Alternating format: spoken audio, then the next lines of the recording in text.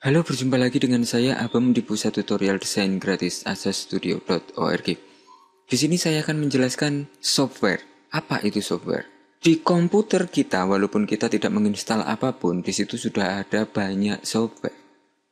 Dan software ini biasanya berkepentingan dengan hardware yang ada di komputer kita.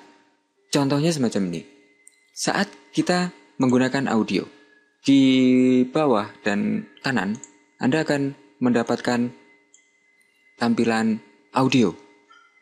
Di hardware yang terpasang di komputer, setiap komputer itu memiliki hardware untuk pemutaran audio karena memang fungsinya multimedia di di komputer.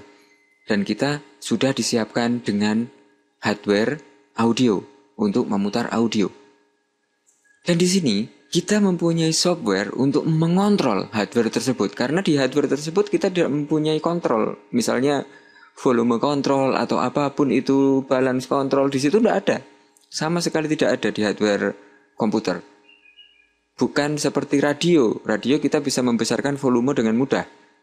Tapi di komputer kita bisa mengaturnya itu dengan software yang biasanya software untuk optimalisasi atau kontrol dari hardware yang bersangkutan itu biasanya dinamakan driver. Mungkin kenapa dinamakan driver karena kita bisa mengontrol semuanya. Mungkin seperti itu mungkin. Dan dengan software yang bernama driver ini kita bisa mengatur apa pun itu di hardware yang bersangkutan. Dalam hal ini saya memberi contoh di audio. Oke, mudah-mudahan Anda bisa memahami. Dan di sini saya juga bisa masuk ke semacam mini speaker. Di sini ada level, di sini ada balance. Anda bisa menonaktifkan satu kiri atau kanan seperti itu. Dan banyak lagi di sini. Di sini ada efek dari audio kita. Di sini ada preview. Kita bisa mempreview audio yang ada di komputer kita. Seperti ini. Dan kita bisa mengatur juga tampilan monitor. Di sini saya memakai hati Rodion. Dan kita bisa mengatur semua hardware yang ada di komputer kita dengan yang namanya software tadi. Atau biasa dikenal dengan driver. Karena kalau saya bicara software nanti malah salah karena software biasanya berhubungan dengan aplikasi Oke, seperti ini. Dan di sini saya bisa mengontrol semua mulai warna, mulai video, warna, kualitinya seperti apa.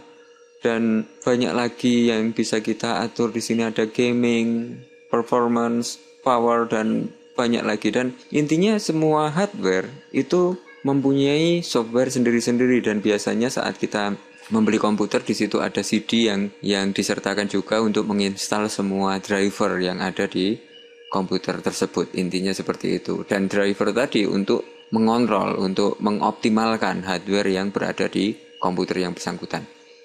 Oke, mungkin seperti ini mudah-mudahan Anda bisa memahami dengan software. Jadi walaupun kita belum menginstal software, komputer di Windows itu sudah ada software dan software-software yang ada itu biasanya berhubungan dengan hardware di komputer.